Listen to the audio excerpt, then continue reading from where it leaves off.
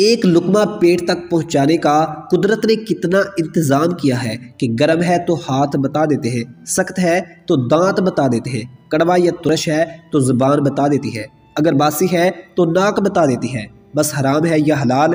ये फ़ैसला हमें करना है